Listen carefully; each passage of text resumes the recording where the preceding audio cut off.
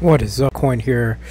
Before um, market open in a few hours, it looks like you know this is what I kind of have labeled here. I, I, I, you know, I have this as an A, B, C, D.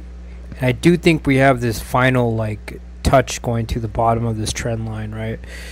So if you look at this. Uh, this right here, we're bouncing off this high, low to high 618 I do think there's one more like leg up to touch the bottom of this trend line here like that before we kind of fall over.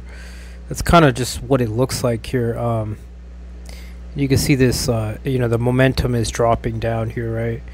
I do see something like this happening um, or or we just drop down hard right now right? But it looks like it looks like we have this final like move up to touch the bottom of this uh, channel that we dropped out of, right? So if we go down in like uh, a little bit here, a little bit uh, lower time frame right here, right? You know, we can see uh, this kind of looks like an ABC right here, right, right here, right? And we just bounced off that low to high 618. Um, it's either that or this is a this is a one two one two right or a zigzag so, you know, it's looking like we have this final move up, I think.